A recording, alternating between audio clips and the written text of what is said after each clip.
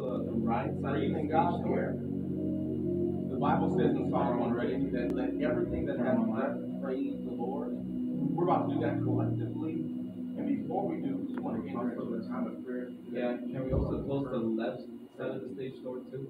Father God, just thank you for the blessing of you, the blessing of your church, the blessing of your church family. Lord, uh, a, a Christian life is one not to be lived alone, but in community. I thank you for this wonderful community what you brought us together uh, for us today, Father.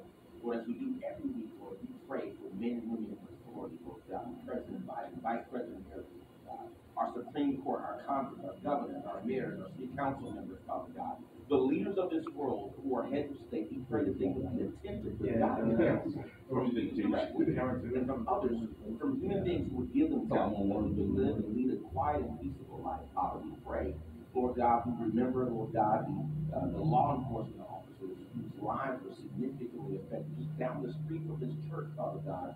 Uh, we pray for their health and their healing, for restoration for their lives and their families. On the young man who was responsible for the accident, Lord God, that he is restored in the way you desire for him to be restored, Father God. Lord God, and It started working now. It was working. Lord, I'm like, just that's the point of this.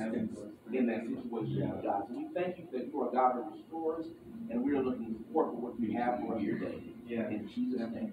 Yeah, so. Are you ready to praise the Lord? Are you ready to give God some glory? Let's worship our King. Praise the Lord, everybody. Praise the Lord, everybody. Come on, take just a minute and put your hands together. Open your mouth and tell the Lord something. God, we thank you, we bless you, we love you, we